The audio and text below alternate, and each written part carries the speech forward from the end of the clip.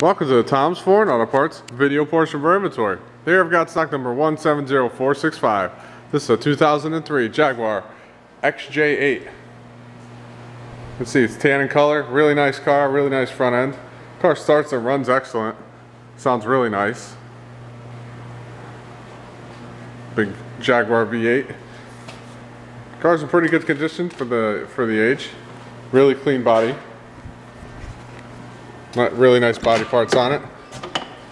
It's got this grayish leather interior. Not sure, it looks gray or tan.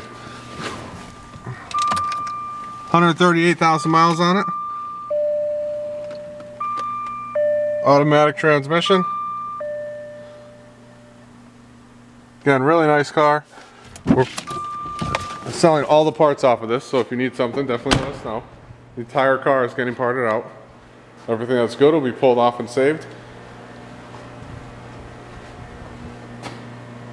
See again, nice car. Was hitting the rear, so buckled a little bit in the quarters, but otherwise the doors and everything else are really clean. Nice fender hood. Engine looks good.